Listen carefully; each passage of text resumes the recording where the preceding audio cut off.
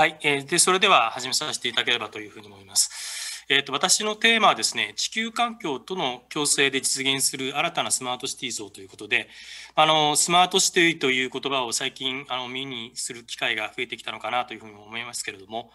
基本的にはまデータであるとかデジタルテクノロジーという世界を指すことが多いと思います。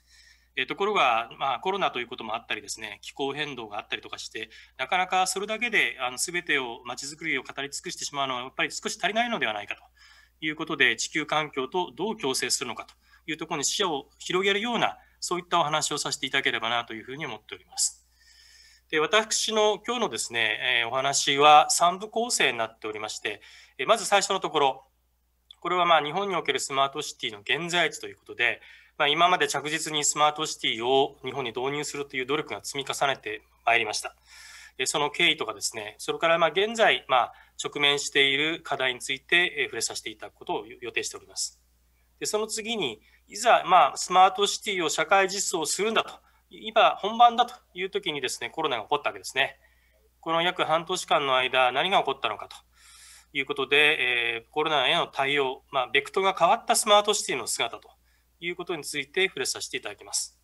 そしてその後に地球環境との共生ということでですね、これはあのヨーロッパの例を少し例に出しながら、えー、次の時代のスマートシティはこうなるんではないのかという点について触れさせていただければというふうに思います。でまず最初にスマートシティのこれまでの歩みですけれども、これはあのスマートシティについてよくご存知の方には、おさらいという形になると思いますので、まあ、軽く聞き流していただければというふうに思いますけれども、まあ、世界中で今スマートシティというのが一つのバズワード、キーワードになっているわけですけれども、これは2050年には世界の人口の約7割が都市に集中すると。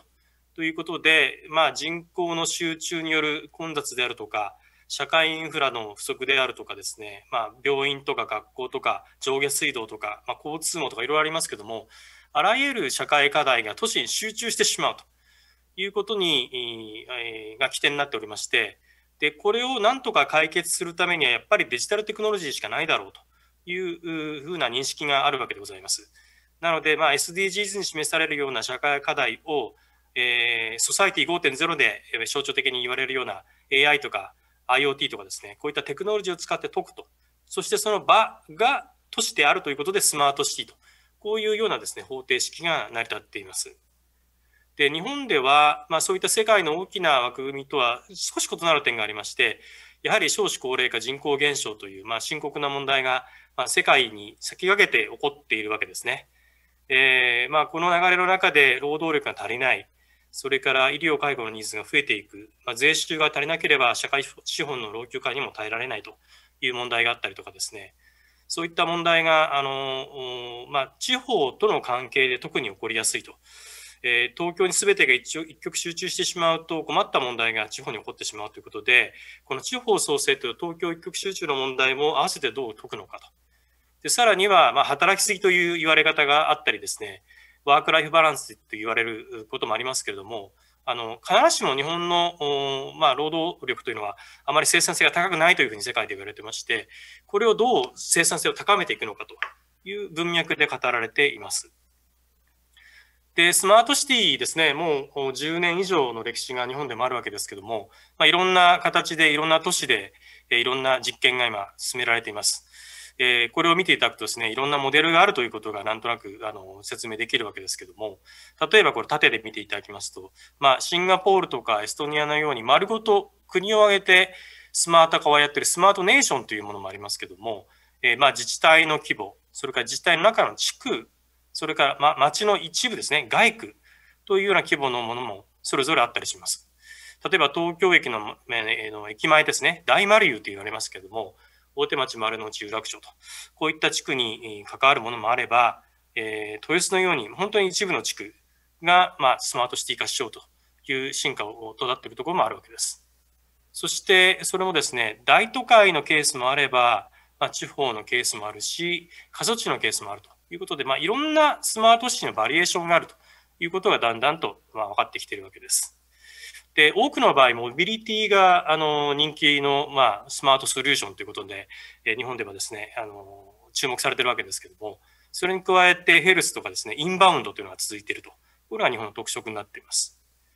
で、えっ、ー、と、日本中の、これ地図を少しこう、あの、ディストートしてますけれども、に今まで行われてきたですね、えー、社会実験をマッピングするとこんなにたくさんあるんですね。で、まあ、いろんな省庁が支援する形で、いろんなデジタルソリューションの実験がま進められてきたと。ただ、比較的縦割りで実験で終わっていたというようなですね、反省が今まであります。で、これを克服しようということで、去年の夏ですけども、スマートシティ官民連携プラットフォームという、不償間連携の,、まあ、あの枠組みができています。これで、まあ、あのコレクティブアクション、コレクティブインパクトということで、形で産官学民で協力してやっていくというコーディネーションの枠組みができたということになります。事務局が、まあ、内閣府、総務省、経産省、国交省と、えー、この4府省のコーディネーションのもとにですね、まあ、関係府省と、それから民間企業であるとか、大学、研究機関、地方公共団体と、えー、今団体が536団体登録されておりますけれども、ここで、まあ、協調してスマートシティを作っていくというような動きが進められているというわけです。で、さらにですね、スマートシティっていうのは、まあ、一つの外区であるとか、あのエリアだけでやるものではなくて、これをデータをつなげていくというところに、まあ、シナジーの効果がある、良さがあるということで、どうやってこれを進めていくのかということについても知恵がだんだんと積み上がってきています。まあ、こういう形でですね、あの、自動車があったり、住宅があったり、それから小売店があったりですね、まあ、いろいろ駅があったりということで、こうデータを横でつなげていくと。そうすると今までできなかったようなですね、サービスが実現していくというわけですけども、これをこう街区をまたいで API というやり方でまたいでいくと。さらには、ま、自治体全体でこういろんなものをつないでいくという形でですね、ネットワークを作っていくというのが、まさにコネクテッドシティという言い方しますけども、スマートシティの真骨頂という形になります。で、そのためのテキストブック、まあ、クックブックとかプレイブックとかいう言い方もできるかもしれませんけども、えー、レファレンスアーキテクチャというものが今年の3月の末に、末に出来上がっています。ここにも出ておりますけども、これは何かというとですね、標準的なスマートシティの形を、えー、ここで作り上げていて、これを使って各都市でスマートシティを作れば、データをお互いに相互運用することができるようになるよということで、先ほど申し上げたネットワークを実現するための一つの知恵が、あの、形式化されたということになります。えご覧の通り、まあ、利用者、市民とかですね、企業とか観光客、これが一番、えー、トップにいまして、えそれに対してサービスを提供する。で、そのための装置として、えー、都市オペレーティングシステム、都市 OS と言いますけども、データを流通させるための仕組み、え IT の仕組みですね。それから、え都市マネジメント。これは人であり組織ですけれども、どうやってコーディネーションしていくのかということについての典型的な知恵がここでまあ確立しているということになります。これをもって他の都市との相互運用性を成り立たせていくと。こういうものがようやく出来上がっていくというタイミングに今来ています。で、えー、今年のですね、今年度の各府省のスマートシティ支援の方針も、こういった、えーえー、共通の枠組みに沿った形ですね、まあ、5つ出てますけども、えー、先ほどのですね、このテキストブックの中から一番重要なところを抜き出して共通の方針化していると。え、市民のニーズに基づくビジョンを明確化することと。全体像を見るような形でアーキテクチャをまず設計することと。で、データの相互運用性を必ず確保するようにすることと。それから市民のニーズとかテクノロジーが変わっても、ちゃんと入れ替えて、それが拡張できると。サービスが拡張できるというような仕組みにすること。そして最後に、それを運営するための組織や体制もしっかり整備することによって、産官学民の連携が実現するようにすることと。こういう準備が着実と整ってきているということになります。で、それに基づいてですね、日本中で本当にいろんなスマートシティのですね、えー、実装に向けた動きが加速してまして、これは先ほど申し上げました大マリウですね。大都会モデルということで、ここは人が住んでるエリアではないんですけども、いわゆる東京のフラッグシップの東京のど真ん中にこういったものを作っていくと。で、デジタルツインというですねえ、デジタル上に都市のレプリカを作って、いろんな、えー、パラレルワールドといいますかね、えー、シナリオをじ、えー、検証しながら一番いいものを作っていくっていうようなモデル。それから筑波の学園研究都市モデルですね。ここはモビリティを中心にした人モデルですけども、こういったものも出てきた。それから藤枝市え、静岡県の藤枝市ですけども、コンパクトシティと、これあの、富山県の富山市なんても有名ですけれども、えそのコンパクトシティをさらにデジタル化していくというモデル。さらには、え三好市ですね、え山中間地域。こういったところでもですね、モビリティをうまくつないでいくという、こういうようなモデルができてきたりもしています。で、さらに、えー、今年の5月にはスーパーシティ法というのが、まあ、成立してまして、えー、2030年までに丸ごと未来都市と、まさに日本のフラッグシップたるスマートシティを作っていくということで、えー、まさに国を挙げた、あの、え、方針が今、まさに動かん動かんとしてるわけですね。え、最低限5つの領域でデジタルソリューションを同時に実装する、実験ではなくて実装すると。で、データを交換するためのですね、フェデレイテッドブローカージって言いますけども、データの連携する仕組みを作っていくと。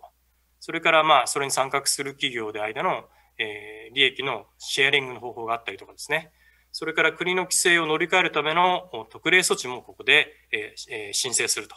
まあ、こういった新たなあのモデルで世界に、えー、トップに躍り出るというようなアンビションもここでまあ作られようとしていると。で、来年の3月ないし4月ぐらいにはですね、まあ、5から10都市ぐらいがえスーパーシティという形でまさに、え認定されるというところに今来ているということです。で、えっと、今申し上げたようにですね、スマートシティっていうのは、日本の文脈でもだんだんと準備が整っていて、いざ実行というですね、えー、レディートゥゴーというところに来てるわけですね。で、ここで今の段階での大きな課題は何かっていうと、人と社会のレイヤー、えー、というところに当たるんですけども、スマートシティというのは往々にしてここのですね、2つのレイヤー、えー、社会資本のところにセンサーをいっぱいくっつけて、そこからデータを拾って、あらいろんなサービスをデジタルで提供していくということになってるんですけども、まあ、こういった話を進める中で、まず最初に人と社会のレイヤーの課題っていうのが出てきています。これは端的に言うと、スマートシティを導入すると幸せになれるんだろうか？というところについてのですね、デジタルと幸せ、ウェルビーイングとの紐付け関係があまり明確にできていないという問いが今出てきています。逆に言うと、幸せになるためにはどんなスマートシティを作ったらいいんだろうか？という問いですね。で、その構成要素として、まあ、誰も取り残されないという SDGs の言葉がありますけども、デジタルインクルージョン、デジタルディバイドの反対ですね。え誰も取り残さないというような仕掛けをどうしたらいいんだろうかと。それからデータを出して使っていくということですから、テクノロジーを信頼する、もしくはデータの受けてですね、まあ、時に政府というのが出てきますけども、ここを信頼する、信頼する社会という形にどう進化していくべきなのかというのが今大きな問いになっているということです。人間中心主義というのは、まあ、日本のですね、えー、ソサイティ5.0の大きな柱になっていますけども、そことの紐付けができるかどうかというのが今足元の一つの課題になっているということです。で、これはちょっと細かくて恐縮なんですけども、スマートシティインスティュートでですね、今スマートシティを導入している、もしくは導入し導入しようとしている自治体にアンケートを取らせていただきました。そこで見えてくるのもやはり人間、人、えー、社会の例外に関するものが非常に多いですね。この、えっ、ー、と、エンジ色のバーがですね、あまりできていないと、全くできていないという回答があったところなんですけども、スマートシティに関する市民の参加参加意識を高められるかどうか、スマートシティのステークホルダーの合意形成に必要なガバナンスをどうするか、スマートシティを推進するための権限とかスキルをどうするかと、ま、こういったところに集中してたりします。それからスーパーシティの文脈で言うと、その全体を統括するアーキテクト、ま、総合プロデューサーですね。これを見つけ出せるかというのが一つの問いになっているということです。もちろん、あの、スマートシティそのものに関するですね、ビジネスモデルをどう作るのかという問いもあるんですけども、まあ、多くは人間のところということもあって、まあえー、技術的な設計はできたけれども、これを人間として、社会としてどういうふうに導入し、どういうふうにそのメリットを享受していくのかというのが、まあ、目の前の問いという形になっているということです。さて、えー、こういう形でですね、スマートシティも着実と導入に向かって進んできたわけですけども、そこでコロナが起こった。で、ここでですね、大きな方向転換があ課されという事態になっています。で、あの、先ほどもですね、繰り返し出てましたけども、地方への分散というところとデジタル化の加速というこの2つがですね、大きな課題になってきています。で、これはあの日経新聞に出ていました総合研究大学大学院大学の、えー、長谷川真理子学長の、まあ、お言葉なんですけども、都市というのはですね、えー、都市化の代償が感染症だと。えー、いうことなんですね。まあ、人口が集中して便利になってきたんだけど、これはま人類史的に見ると異常な状態が起こっていると。で、都市化をつく、都市を作るということは、ま、大規模な自然破壊を起こしているということなんだけど、それがあまり意識されてこなかった。で、自然を破壊したことが一つの原因となって、まあ、気候変動もそうでしょうし、それからま動物由来のですね、感染症、まあ、コロナのようなものが人間にまあ移ってきたと。でそしてその都市がその培養期になってしまっていると。こういう認識ですね。でそして、こういった感染症はだんだんだんと頻発する頻度がこう短くなってきてまして、1回では終わらないというようなここに示唆があったりもします。で、これを受けて、スマートシティもですね、少し方向性を改めていくという動きになってきています。で、まあ、その前提ですけども、パンデミックの原因が都市化と環境破壊にあったと。で、人口が集中する都市ではなくて、今度は分散に向かわなければならないと。それから、えーと、自然との共存をするような形、もしくは自然との関係で起こっている危機に対してリジリエントな政策をどうするのかという問いですね。で、政策自体はですね、具体的にどうなってきているかというと、えー、人口集積を是としない、えー、高く連携型のスマートシティ、これはあの骨太の方針などにも書かれておりますけども、日本にですね、中枢中核都市を中心として約8カ所にスマートシティを作っていくと。リスク分散であり、それから雇用を地方に生んでいくという形、それからまあ地方の豊かな生活を享受すると。これを合わせた姿を求めていくという軌道修正です。それから今までですね、スマートシティというのはテクノロジーを使った効率化とか利便性というところにどうして目が行きがちだったんですね。ところがそんなこと言ってる場合なのかということで、生命とか健康、こういったものを最優先とするスマートシティの方が必要になってきているということです。でさらに、えー、応印、書面、それから対面、あの、まあ、日々今に、あの、新聞とかですね、メディアにも、えー、たくさん出てますけども、えー、菅新内閣においてもですね、これを脱却して、デジタルで、まあ、あの、デジタルガバメントを加速していくとこういった方向にどんどん向かっていると。それと、スマートシティを地方に作っていくといったときにですね、行政単位で行くのではなくて、やはり生活圏であるとか、地域経済圏、こういった形でスマート化、レジリエント化をしていけないとまずいだろうということが強く認識されているわけです。えー、コロナの文脈でもですね、例えば関東であれば、東京、千葉、埼玉、えー、神奈川といったところが、まあ、人の流れで繋がっているわけですね。で、これを分断してスマートシティを作るのではなくて、やっぱり一体化して対応すべきであるとか。で、これは地震とかですね、津波なんかもそうだと思いますけれども、えー、海岸線の都市がやっぱり連携しなければならないということで、えー、ある一定のところだけがデジタル化して先に行ってしまうのではなくて、広域連携といったようなものが非常に重要になってくるという認識が強まっているということです。それから移動を前提とする政策から移動を前提としない都市政策ということ。それからソーシャルディスタンスを確保するような空間設計と。あの、よく自転車がですね、あの、ヨーロッパとかニューヨークなんかもそうなんですけど、みと、あの、随分まだ見直されてきているということで、あまりあの、えー、電車とかバスとかを使わない、えー、公共交通機関よりも自転車を使っていくということが随分重要視されてますけども、そういった街の設計が重要になってきているということでございます。で、えっ、ー、と、7月の17日の閣議決定以降ですね、まあ、いろんなこう、え方針が出てきているわけです。えー、いわゆるその骨太の方針もあれば、それからスーパーシティ、先ほど申し上げたスーパーシティ、未来構想、地域未来構想20と、それからまちひとしごと創生基本方針の2020とかですね、それから規制改革の実施計画、まあ、こういったもの全部そうなんですけども、今申し上げたようなものが、幾同に入ってきているということになります。で、スマートシティの中でですね、まあ、これを少し絵にするとどうなるかと。いうことなんですけど、これちょっと見にくいんですけども、まあ、スマートシティのこうレイヤーがたくさんあるというふうに思っていただければと思う、思えば、思っていただければと思うんですけども、まず最初に、一番下の自然との関係で言うと、自然との共生というところを中長期的には取り戻さないと、えー、またおかしなことになってしまうと。で、2番目に地域への分散とソーシャルディスタンスを確保できるような社会資本が重要になってきていると。そしてその時の単位が、やはりこの社会資本の文脈ですけども、生活圏とか経済圏のベースで物事を考えて、スマート化とかレジリエンスの強化をやっていくべきであると。そしてスマートシティ、スマート化の順番ですけども、電子政府、それから生命健康に関わるようなもの、え効率化とかですね、利便性ではなくて、生命とか健康に関わるところを最優先にやっていくべきである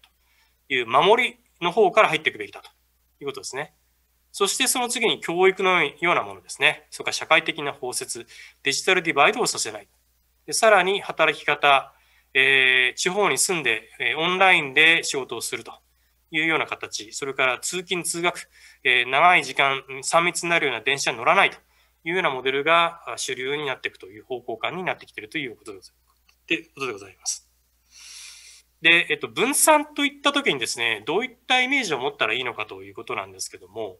フィジカルの世界で言うと、まあ、国土計画ということで、今までもいろんなことが言われてきてるわけです。まあ、東京都市圏というところは一つ、まあ、あるわけですけども、これを置いておいたときにですね、え中枢中核都市というものがあったりとか、それから連携中枢都市圏。これは熊本市さんもまあ先駆的にやっておられる、えものなんですけど、こういったもの。それから、えもう少し小さなですね、市、市町村がですね、中心となる、え市、それから近隣の市町村が、え広域連携で結びついた、え定住自立権と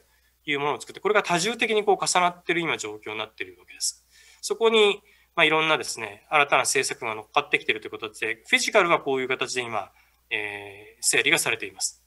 で、ここにサイバーを乗っけていこうというわけですね。スマートシティを乗っけていこうという今文脈に変わりつつあるわけです。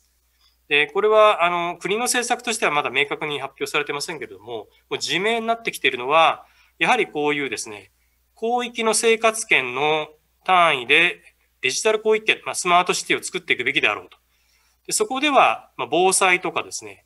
防犯、医療、福祉、それから、まあ、デジタルガバメントの行政サービスですね。こういったものはですね、シェアリングしていく。えー、まあ、広域連携なんですけども、まあ、シェアリングエコノミーというような形で、ここが一つのですね、単位を形成していくべきだろうと。で、それをもう少し中枢中核都市というような単位で見ていくと、これを連携させていくと。基盤を共通化させたりとか、API で連携していく。範囲とネットワークの経済という形でこれをつないでいくと。まあ、ネットワークとそれからシェアリングと、こういうようなモデルを作っていく必要があるんだろうというふうに思われるわけです。で、あの、この地図は、あの、ご覧になったことがある方も多いかもしれませんけれども、中枢中核都市というのは、今、日本に82都市あります。それから定住自立県というのは128県あります。まあ、足すと約200ということで、まあ、日本でいうと、いわゆるスマートシティでまず最初に考えられるのは100都市ぐらいが、えー、骨太の方針でも言われてますけども、えー、できていくだろうと。それからもう少し視野を広げると約200という単位がここで見えてくるわけです。で世界に目を向けますと、スマートシティの有名な例で言うと、コペンハーゲンとかですね、ヘルシンキ、これ人口で言うと60万人規模なんですね。で、60万人規模を、まあ、日本の人口1億2000万というところに照らし合わせますと、約200と。まあ、単純計算だと200ぐらいのスマートシティができてくるんではないかと。で、もう少し大きなスマートシティ、バルセロナとかですね、えー、国という単位単位になりますけど、エストニアと、えー、バルセロナは120万人都市と、えー、エストニア130人万人の国ということなので、そうすると100という単位が見えてくると。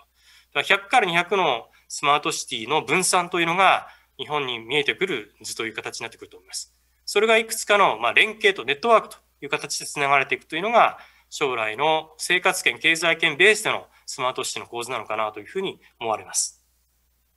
で、えー、そういったですね、スマートシティの街中については、あのー、ソーシャルディスタンスを保たなきゃいけないということで、え、どういうことが考えられるかというと、世界中で今進められているのが、ウォーカブルシティという考え方ですね。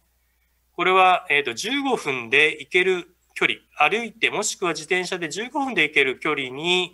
大体必要な、生活に必要な機能を備えていきましょうと。これ、パリがまさに今そういう動きになってるんですけども、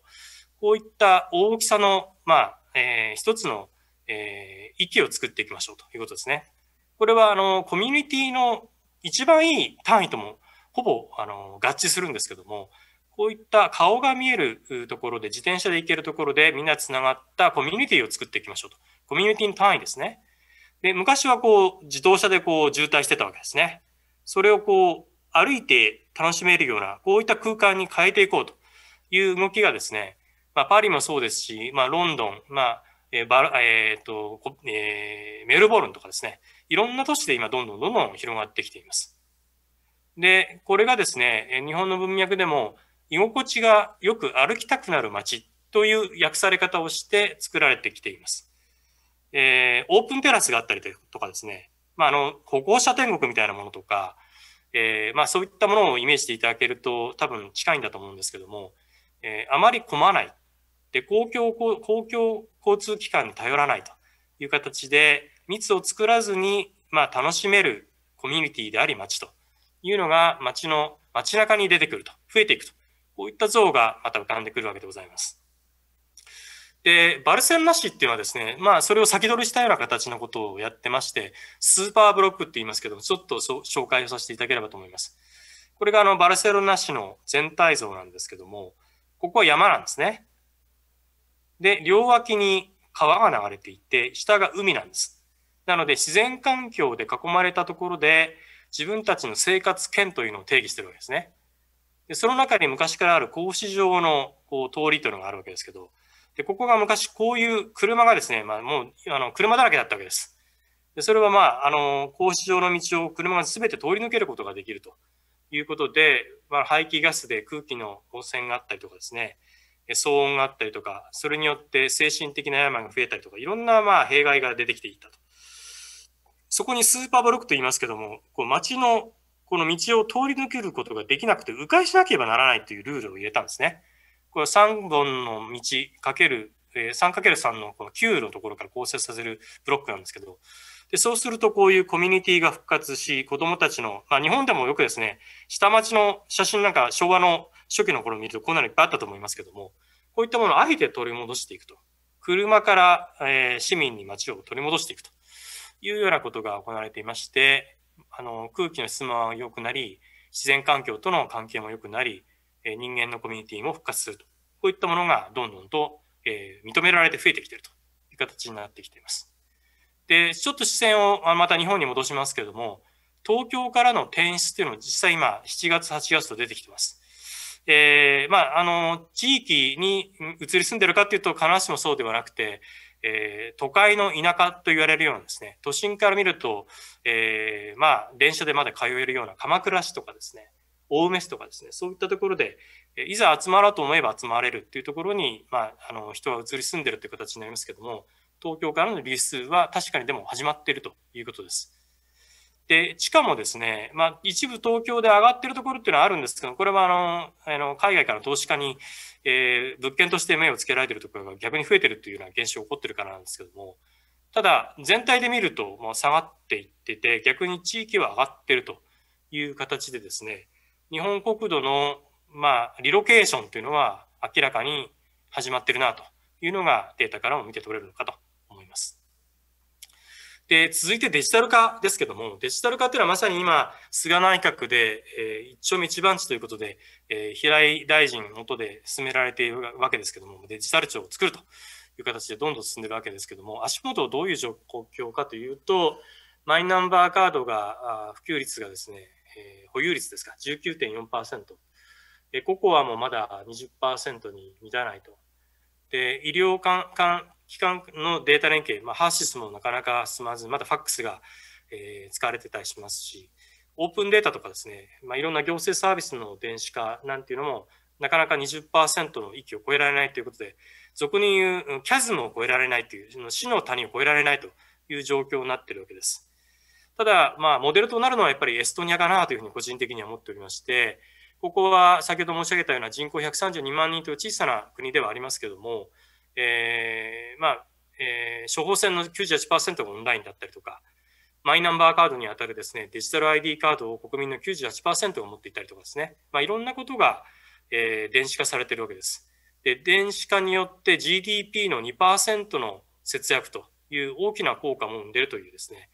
えー、人生の本質ではないような手続きをなくすということで、こういう効果を実現している国が、まあ、世界にはあるわけですね。で、その三種の神器、なぜそれができているのかというキーがですね、デジタル ID ですね。まず、これはサイバー空間における名前ですけど、私の名前、南雲武彦と言いますけど、ちょっと珍しい名前ですけど、それでも日本に同じ名前の人がいるんですよね。でデジタル ID っていうのは同じものがないということで、えその人本人を認証するためには、これはサイバー空間上にはなくてはならないものなんですけども、でそしてそれに紐付く電子署名ですね。本人であることが裏付けされた電子署名。犯行ではなくてですね、電子上の署名ですね。これによっていろんなやり取りができるということによって、電子の世界が展開されると。そして、これをインターネット空間で分散的につないでいく X ロードというようなですね、データの交換基盤というのが必要になってきます。で、これで、この3つがあるがゆえに、あの国は、えー、まあ、奇跡のデジタル化を成し得ているというふうに言われているわけです。で特に日本の文脈で言うと e ヘルスですね。医療の分野っていうのはどんどんどんどん高齢化になっていくと、あの、重要になってきますし、こういったものは早く日本にもやった方がいいんではないかというふうに私も思いますけども、持病のデータとかですね、いろんなものがもう電子上に入っていて、例えば救急車に活がり込まれるという時も、その人の情報が、もう救急車の段階で、救急車の中であるとか、搬送される先の病院とかでもう共有されてるわけですね。心臓病を持ってるとか、糖尿病を持ってるとか、その場合どういうケアからしたらいいのかと。これは緊急で、あの、災害が起こった時もそうなんですね。どういう人をどういうところに、えー、まあどういう手順でですね、助ければいいのかというのがデータから、まあ、明らかになっていくということなので、これは極めて重要な、えー、まあ、インフラになっていくだろうというふうに思います。そして、あの、すでにアジアの国々では、えー、実はもう広がっているんですけども、オンライン診療っていうのも随分と一般化してきてまして、これはタイの例ですけども、もちろん日本に比べるとその病院の数が足りないとか、え医者の数が少ないとかっていう事情はあるんですけども、オンラインでいろんな相談ができると、診断を受けることができるっていうのが一般化されつつあると。日本でもコロナの文脈でですね、短期的にこれがあの導入されましたけども、これを高級化できないかというのが今後のですね、え大きな争点になっていくわけですけど、こういったものもだんだんだんだんと日本には必要になっていくだろうと私は思ったりもしています。えっ、と、ここでですね、あのコロナの文脈での一つのまとめになっていきますけども、今までのスマートシティ、こういうですね、デジタルソリューションというのを通じて幸せを達成できるかと、文脈は利便性とか効率性を重視してきたわけです。これは、あの、マズローの段階欲求説で見てみると真ん中ら辺だったわけですね。ところがコロナが来て安全とか生理的欲求、まずここを満たさないといけないということが必要になってきたわけです。でデジタルでまずここをやりましょうと。と同時に分散という形で、えー、地域に、え、住むチャンスが巡ってきているわけです。で地域のですね、えー、豊かな生活を享受しながらオンラインで仕事をする。満員の通勤、えー、通学電車、公共交通には必ずしも乗らなくてもいいと。いう形になって、地域のとの関係が深まっていくと、地域での市民参加というのが増えていくでしょうと。そうすると、こういったですね、えー、生命、健康、それから市民参加、えー、地地方自治というような領域が満たされていくと、この先ほどの、まあ、利便性とも相まってですね、まあ、幸せの実感と、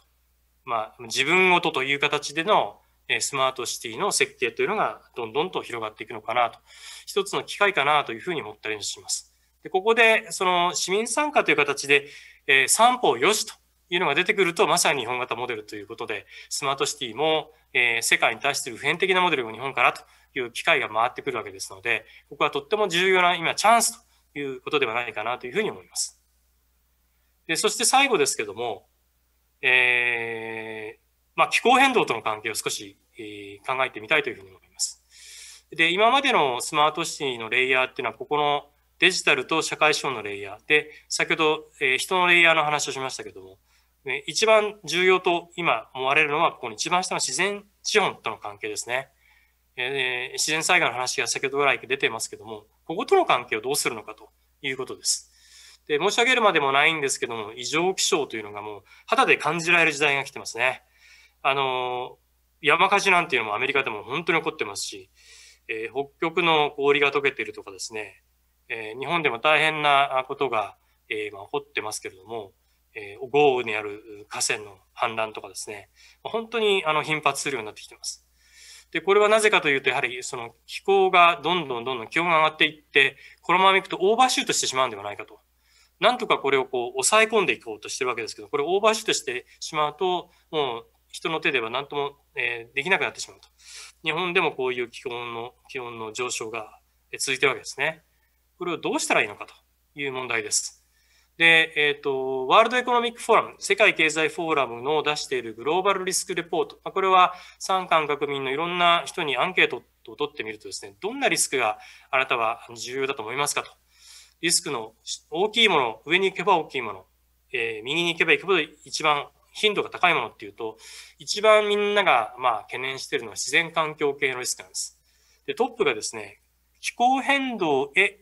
の対応に失敗するリスクっていうのが世界の最大のリスクというふうに今認識されています。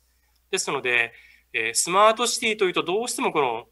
ここの機械との共存共栄、テクノロジーのところに、えどうしても目がいってしまうんですけども、そうではなくて、こういう自然環境との関係をどう定義していくのか。パンデミックもそうです。プラスチックの問題もそうですね。こことの関係をどうするのかっていうのが実は一番深刻な問題という形になっているということです。で、これを SDGs の文脈で言うと、えー、こういった経済とか社会の活動を支えるバイオスフェアと言いますけども、環境、自然環境のところが、この上の2つの活動の、えー、負担に耐えきれなくなってきていると。こういうふうに表現されるわけです。で、日本でも、えー、熊本さんもまさにこの中で、えー、SDGs 未来都市という認定を受けられて活動していらっしゃいますけども、そういった活動であるとか、それから二酸化炭素排出実質ゼロということで、これ、ここ全部熊本なんですけども、熊本県参加の人もあの積極的に参加していらっしゃいますけども、こういった形での動きが加速せざるを得なくなってきていると。これがまあ今、スマート市ととは分断された形でまあ行われているのをどうやって統合していくのかという問いにここからつながっていくわけです。それから環境省はですね、えー、地域循環共生権という考え方を最近強調されてまして、まあ、都市の生態系、それから農産漁村の、えー、生態系を一つのパッケージとして循環する一つの、えー、生態系、えー、共生権という形で見ていくことによってサーキュラーを担保できないのかというような考え方ですね。エネルギーを消費するところ、それから都市にいろんな農産物とかですね、自然産物を供給するところ、これがお互いにはみ出さない範囲で回っていけないのかというモデルを出してきているわけです。で、少しここでヨーロッパを参考にさせていただければと思うんですけども、ヨーロッパは先ほど来出てるグリーンディールですね。これが一番に来ます。グリーン、それからデジタル、そして人間社会のフェア、え公正、公平という順番で出てきまして、ヨーロッパングリーンディールがあって、それから経済があって、それをデジタルでどうするのかと。で、社会の問題ということで、いろんな問題をどうしていくのかと。こういうような立て付けで物事を考えてまして、これが掃除系で都市設計、街づくりにも出てくるわけです。で、まず足元、レジリエントじゃなければならないということで、いろんなですね、まあ、変動要因ですね、社会経済、地政学、自然環境、デジタル。これがどうなっていくのかということに、コロナがさらに大きな負担をかけていくということを加味したレジリエンス、えー、総合シナリオというのを作ってですね、これに耐えしのごうと、しのごうということをやっています。えー、ここはちょっと細かいので、あの、パッとご覧になっていただくだけですけども、えー、ここでヨーロッパの国々の名前全部ここに入ってるんですね。それに対して今申し上げたような変動要因をマッピングさせて、どのくらい準備ができているのかと、レジレントなのかということを、まあ、ダッシュボードしながら全体の舵取りをしていこうとしていると。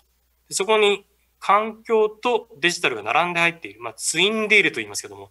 ペアでここは、あここに入っているということになります。そして足元では、えー、ドーナツ経済モデルというものをどんどんと入れようとしている都市が増えています。これは何かというとですね、えー、社会と経済の運営をするときに、一定のバウンダリーの中でこれをやっていかないと、えー、いけないという考え方で、これを超えてしまうと、えー、地球経済が、地球環境が、まあ、傷んでしまうと。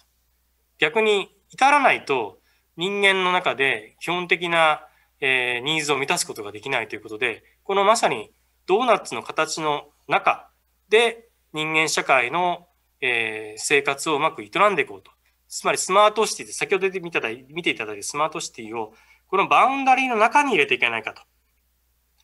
えー、これを地球環境の限界の中に入れていくという言い方しますけども、こういったモデルを推し進めていこうということがどんどんと、えー、進められています。えー、サーキュラーエコノミーという言われ方しますけども、このバタフライ図っていうふうに言うんですけども、えー、生物的なものですね、リニューアル、リニューアブルなものについては、こういったリニューアルのサイクルをどんどん、えー、繰り返していきましょうと。で、ここ排出されるゴミみたいなものはあんまり出さないようにしていくと。それから、えー、産業で作られるような工業製品みたいなものはリサイクルしていこうと。リユーズしたりとかシェアしたりしていこうと。こういうふうな形のものを政策にどんどんどんどん入れ込んでいって、大量生産、大量消費、大量廃棄と。リニア、直線型と言いますけど、こうではなくて循環型に舵取りをしていこうというふうにモデルがどんどんと変わってきています。で、その筆頭が、えー、オランダのアムステルダム市ですね。ここはまさに市の政策にそれを織り込んでいます。で、アムステルダム市っていうのは実はスマートシティでも古株で有名な都市なんですけども、それがさらに先に行くということで、スマートシティの文脈にこういったサーキュラーというのを入れ込んだドーナツモデルという形にどんどんどんどん進化しようとしているわけです。これはあのオランダのあの国の、まあ、オレンジですね。これでまあバウンダリーをまあ書いたような形でドーナツモデルっていうのを書いてるわけです。で、ちょっと細かいので、これはご覧になっていただくだけですけども、えー、いろんなこの建設業の出てくるものですね、廃棄物とかも含めてどうやってサーキュラーにしていくのかと。で、それを実現するためのこうロードマップを書いていって、で、それをまあ、えー、実際のところでこうどうマッピングしていくのか。で、さらにはそれを金額に直すとどういうインパクトがあるのかということをデザインでいくら変えていく。それから実際の、まあ、現場でどう変えていくのか。えリサイクルしながらどう変えていくのか。というようなことを、まあ、計算するとですね、えー、まあ、GDP にはなかなか出てこないようなものも、まあ、ちゃんと計算してやっているということですね。で、それを街における市民との関係で、thriving city、繁栄する都市という言い方で説明しています。growing city ではないんですね。grow っていうのは直線的にこうどんどん生産を拡大していくっていうモデルなんですけど、そうではなくて、サーキュラーのモデルを通じて、経済成長が右肩上がりではない豊かさ、反映する都市という概念を実現させようとしているということになってきています。はい、えー、そろそろお時間になってきたので、えー、まとめになりますけども、え、地球環境との競争で共生で実現する新たなスマートシティ像というのは、やはり4つのレイヤーを視野に入れて、これを統合的に進めていく必要があるだろうということです。一番上には人間と社会のレイヤー、ウェルビーイングというのが重要になってきます。でデジタルのレイヤーでは、インターオペラビリティ、データをどうつなげていくのかっていう、コネクテッドシティの仕組みをどう立ち上げていくのか、そして社会資本のレイヤーでは、地方を分散して、それをネットワークしていくという生活圏のデザインと。最後、自然との関係で言うと、やはり共生、それから回復、サーキュラーと、こういったものを統合的に見ていく必要があるというふうに思います。これ見ていただきますと、実はこの人間が作っていくですね、デジタルとか社会資本っていうのは、自然と人間と橋渡しするという形に他ならないということが見て取れるかと思うんですけども、こういった形で、あの、日本のスマートシティを進化させていくと、自然災害にも強く、自然災害を減らすことができ、かつウェルビーイングな街ができていくのかなというふうに思います。えー、私のえ説明というかプレゼンテーションは以上でございます。ご清聴どうもありがとうございました。